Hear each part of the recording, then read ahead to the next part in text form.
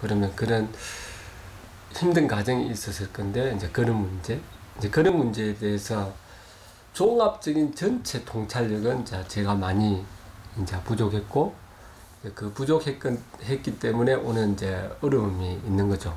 왜냐하면 이제 근데 이제 그 이제 부족해서 오는 그 어려움이 극복하는 건 또 하루 아침에 되는 것은 아, 아니잖아요. 그러면 이제 준비가 덜 됐고 통찰력이 부족해서 오는 이제 이는 삶의 문제에 대한 어려움은 이제 온몸으로 또 받아 안아야 되는 문제니까 이제 그런 문제에 있어서 이제 집사람한테 제일 좀 미안하죠. 예.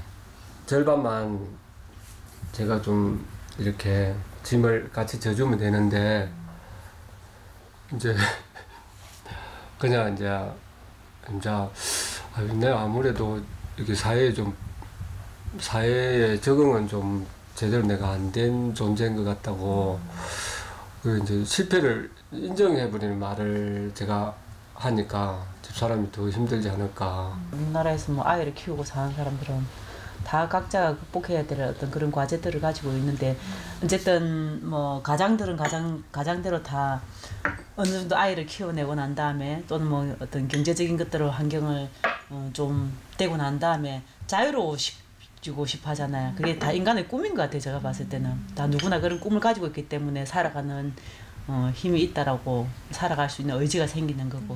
예. 우리도 그냥 그런 의지로 가지고 조금 밖에 사람들이 경제 활동을 하면서 이렇게 살아가는 거하고 좀 다르지만은 나름대로 스스로가 생각하는 어떤 그런 삶의 어, 그 극복 의지를 모아선을 통해서 저는 뭐 분주하게 왔다 갔다 하면서 네.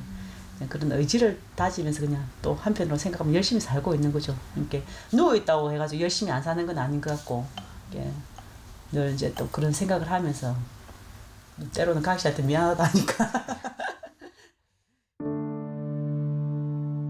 남들은 밥벌이에 일생을 던지고 노년에나 찾는 자유를 화정신 스물다섯 무렵부터 가불했다. 가불한 시간들을 갚을 길이 없는 게 인생이다. 하지만 과정이 다르다고 지금껏 살아온 시간들이 헛된 건 아니다. 영 부족한 소리일 수도 있어요. 근데 제가 이제 최소한 이거는 이제 애들한테 이제 애들 하나 인격체니까 인격적으로 대하는 거.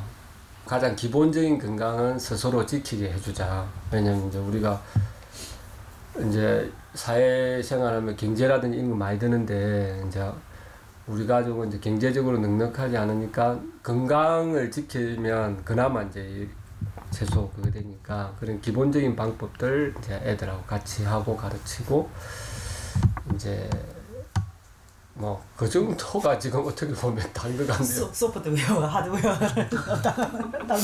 그, 네, 그 각자가 생각해서 잘하는 것들을